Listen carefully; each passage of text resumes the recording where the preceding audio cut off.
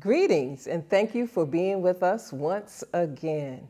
So it is August. The year has gone by extremely fast. And uh, with that said, we will continue with our August lesson for this month. Before we get started, let's have a word of prayer, if you would, please. Heavenly Father, we do thank you for this opportunity to continue to learn your word. Oh God, we as we study, we see the things that happen in biblical times are still happening today. And one thing for sure, God, is that you are still here. Uh, you, you still are there to deliver us from all of these challenges that we may go through in our life. And for that, God, we say thank you. In your name I pray, amen. Okay, so August emphasis is kingdom citizens, like Jacob, are being transformed into new creations. Kingdom citizens like Jacob are being transformed into new creations. And the thought of this month uh, is uh, this tension builds as Jacob grows as a man. Things have changed now. He has now become a husband, he's a father, he's a son in law, and a brother in law. And so Jacob no longer makes decisions that just affect him, you know, like a single person. Every decision affects his entire family.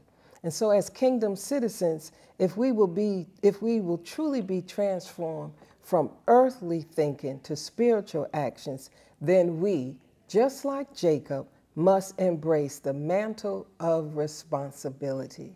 And so uh, within that reading, I can see there's some words that kind of resonate with me. And um, one would be the last word, responsibility, and the other word would be transform.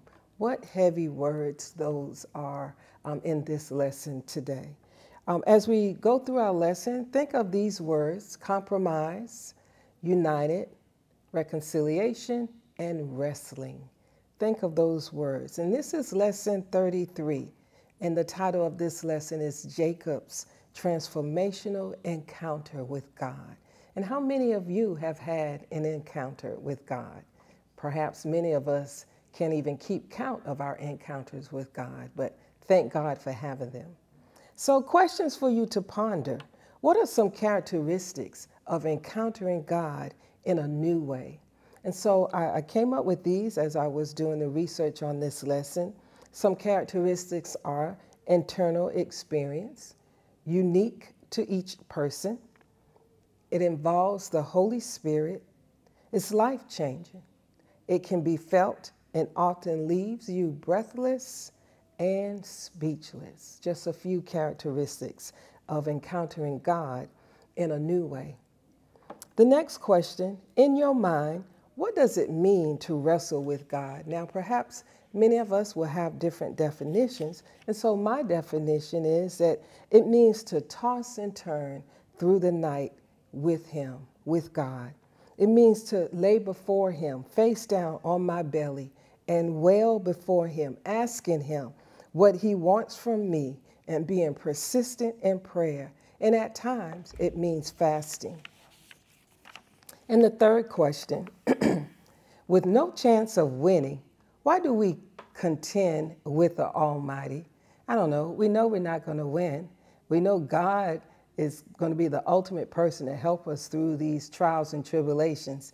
And I just think because we just want to try things our own way. And for those of us that are Christians, we know better, uh, but we seem to sometimes just want to try it our way first, and then we go to God and do it His way. The scripture lesson comes from Genesis 32, 22 through 32. And the title of this scripture lesson is Jacob Wrestles with God. Listen, if you will. That night, Jacob got up and took his two wives, his two female servants, and his 11 sons and crossed the ford of the Jabbok. After he had sent them across the stream, he sent over all of his possessions. So Jacob was left alone. And a man wrestled with him till daybreak, daybreak. So we know that it was nighttime when this occurred. When the man saw that he could not overpower him, he touched the socket of Jacob's hip so that his hip was wrenched as he wrestled with the man. Then the man said, Let me go, for it is, it is daybreak. But Jacob replied, I will not let you go unless you bless me. The man asked him, What is your name? Jacob, he answered. Then the man said, Your name will no longer be Jacob, but Israel, because you have struggled with God and with humans and have overcome. Jacob said, Please tell me your name. But he replied, Why do you ask my name? Then he blessed him there. So Jacob called the place Peniel, saying, It is because I saw God face to face, and yet my life was spared. The sun rose above him as he passed Peniel, and he was limping because of his hip. Therefore, to this day, the Israelites, they do not eat the tendon attached to the socket of the hip, because the socket of Jacob's hip was, was touched near the tendon.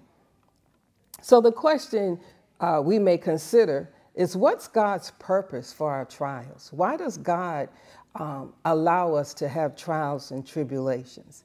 And so think of this response. The purpose for the trials is for us to focus on Him. The purpose of the trials is for us to focus on Him. And there's a bigger question what principles can we learn about God's purpose in our trials and how we should respond to them? So let's move on to the heart of the lesson, which is each Christian will meet God at an appointed time in a special place. This experience is life changing. So all of us will have an opportunity to meet God at different points in our lives, at different places in our lives, at special places in our lives, in order for us to make life changes. One crisis with Laban has been averted. This is the introduction to the lesson today. And there's another that looms ahead for Jacob with Esau. Remember, Jacob fled from Esau and ended up in the land where his uncle Laban, uh, Laban lived. There he worked for Laban for seven years in hopes of securing Rachel as a wife. Laban deceives Esau, giving him Leah instead of Rachel, and just treated Esau so unfairly in other agreement situations. Time passed, and a covenant sealed the deal between Jacob and Laban so that there may be peace between them and their descendants. So Esau, he's back on the scene and he is a new neighbor that is just over the Gilead horizon to the south. Esau was fiercely angry when we last met him in Genesis 28. In Genesis 28, Esau felt betrayed by Isaac, his dad, because Isaac blessed Jacob with the birthright. Are there still storm clouds in his heart and soul? I believe so. So I encourage you to read what I call the saga of Genesis 28 because just like the Bible story, life, life takes us through many twists and turns, many hills and valleys, and many ups and downs. And Jacob's life is a classic example of this. Like Jacob, many of the negative effects in our lives have a direct correlation to our decisions. I remember as a child when something would happen, I would think in my mind that I'm not hurting that person. You know, it happened to me, or when I was younger, it happened to me. So it has nothing to do with anybody else. But decisions that we make do affect people in our lives or other situations in our lives. So it's been 20 plus years, but Jacob must once again, he has to face Esau. And facing one's past can be difficult and it could be painful. Has there been a difficult situation that occurred as a child or a young adult that you have had to address at this age in your life as an adult, an older adult? So there are a few lessons we can learn from Jacob and Laban. And you can go back and ponder this or look this up. Um, so the few lessons are family can take advantage of you. Uh, the next lesson, listen to the warning signs. A bad decision can lead to a series of problems, not just one problem, but it goes on and on and on. The next lesson God handles unfair treatment. And another lesson in this set yourself up for success. So think about those. Go back and look them up. Those are a few lessons that we can learn from Jacob and uh, Laban in this situation that they had. Uh, our first point for our Bible study lesson today is Kingdom citizens know that moving forward after years of turmoil is not easy. So the Bible says that night Jacob got up and took his two wives, his two female servants, and his 11 sons and crossed the ford of the Jabbok. After he had sent them across the stream, he sent over all his possessions. This has to be a step of faith. I read in my studies that Jacob was able to perhaps have time with God once he sent his family and possessions across the water. Jacob has no idea what the outcome will be, but his faith was a factor. And if you think about it, faith always causes us to move forward. There, Jacob is traveling between two worlds the issue with his uncle Laban behind him, and the issue with Esau in front of him. It is interesting that the scripture says that night. Is, is it a metaphor for which Jacob is physically, spiritually, uh, and relationally dealing with? Is that a metaphor for that? Life gets dark at times, and we all have experienced that. And if not, just keep on living. Jehoshaphat said, We do not know what to do, but our eyes are on you.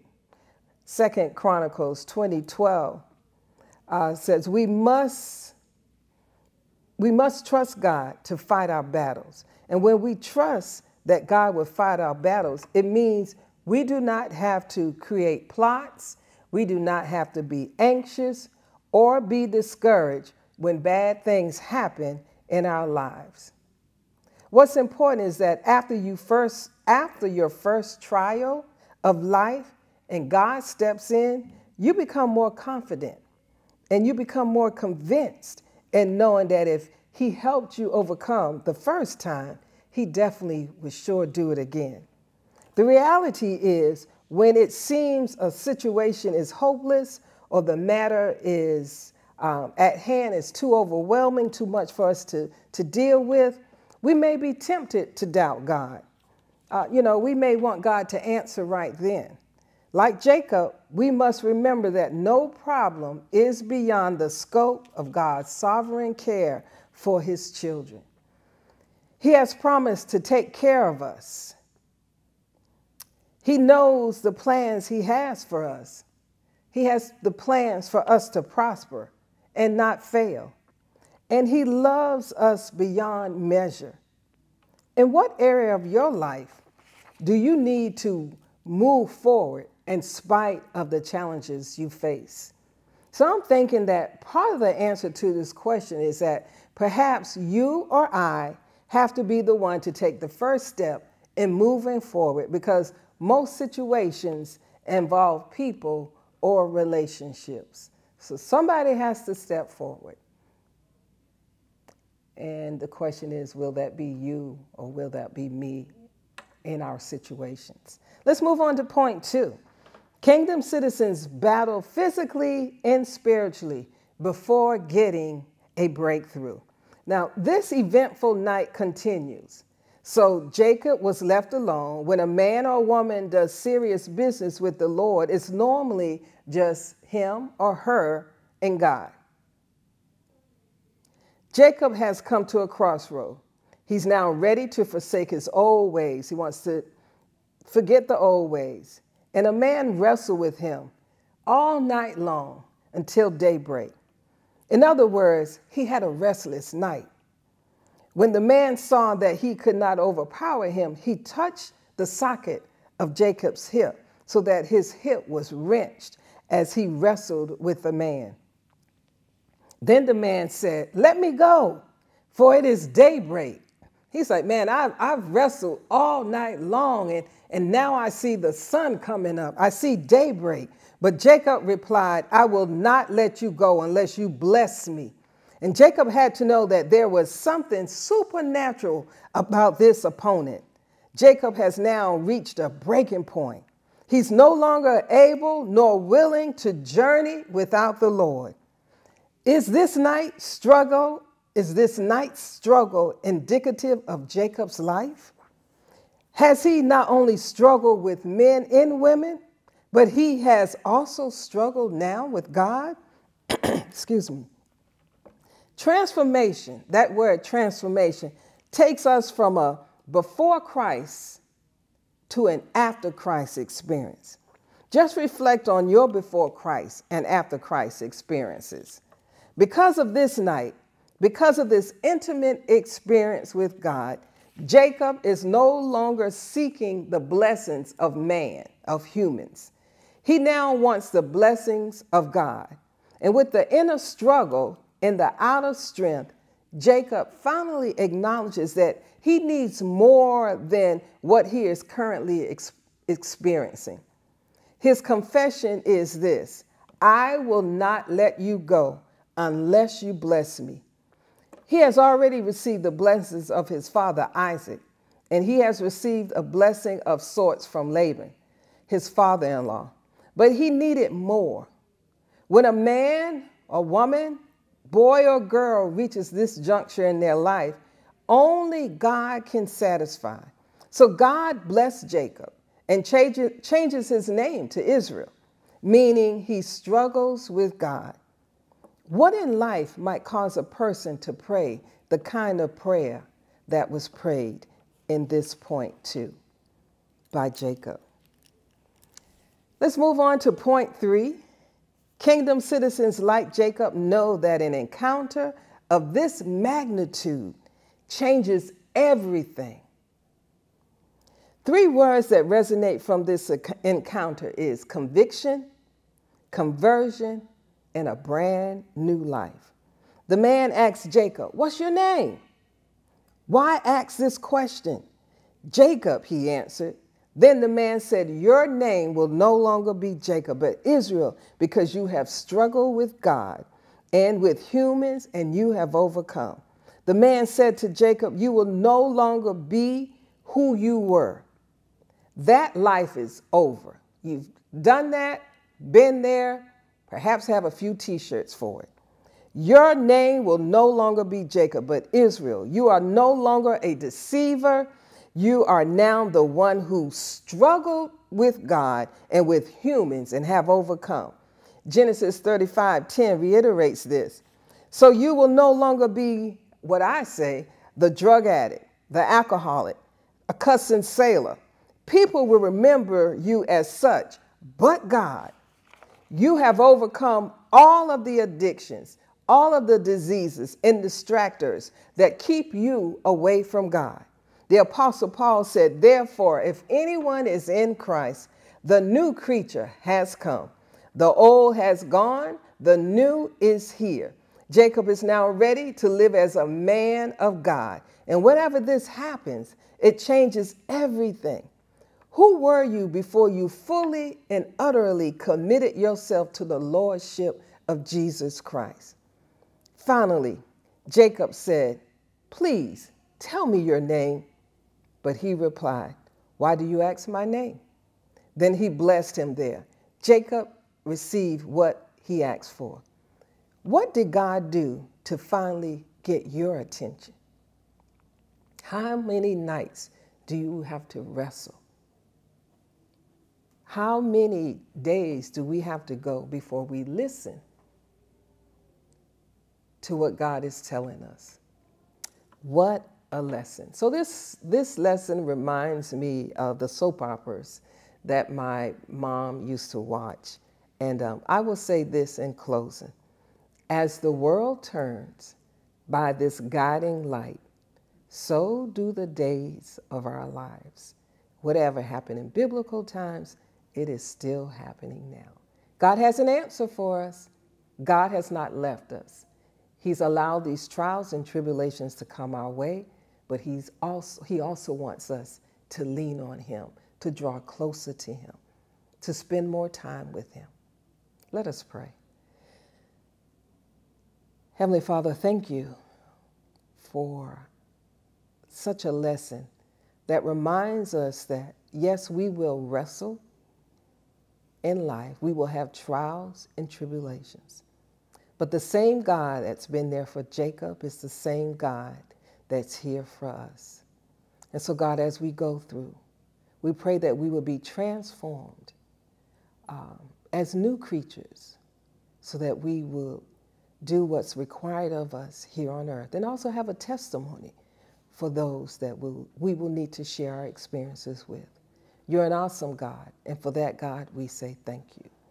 Thank you again for being with us and hope to see you soon.